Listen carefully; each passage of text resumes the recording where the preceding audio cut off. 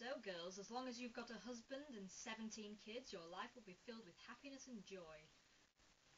I just can't agree more. As soon as I pushed my husband down the steps, my life has never been happier.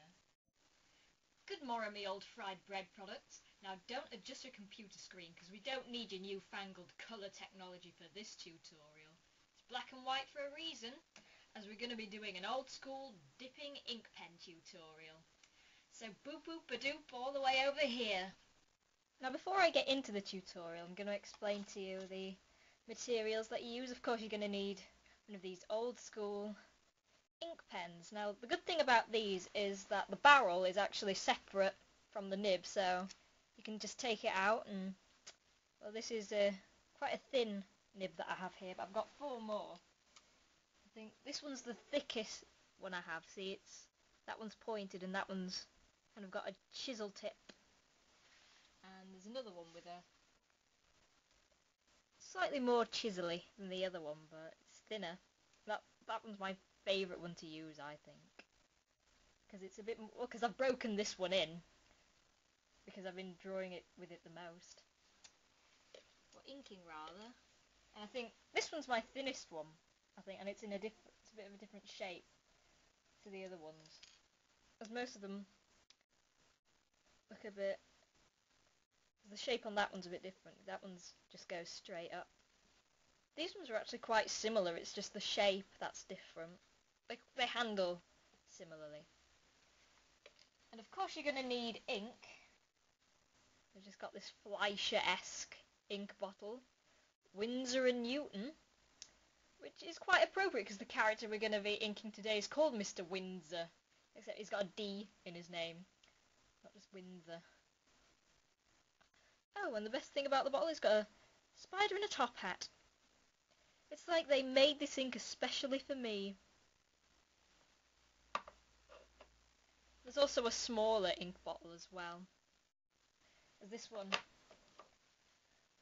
The squidgy thing on the top here is like...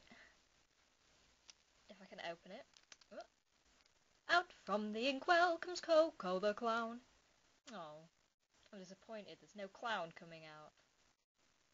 Well, only if it's Coco. All of the clowns scare me. But anyway, this is like, um, you pick ink up with it and you can put it back into your little one or you can just, just picking, pick up ink out of this. But I've always liked the style of these ink bottles, so yeah, black Indian ink. Highly recommended.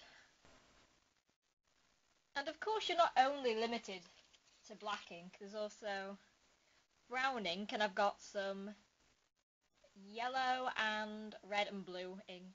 And I've also got a different type, that's a waterproof ink, but it's not as good as this one. The other one has got a Chinese dragon on it. This one's got the spider. I very I recommend the one with the spider.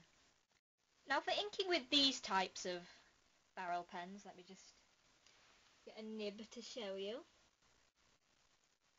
As I usually start with the my thick chisel-ended nib. Just put it in there. You can see there's the camera gets in.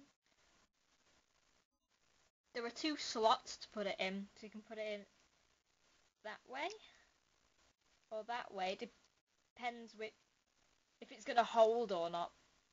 If it just slides in, then it's going to fall out like that, but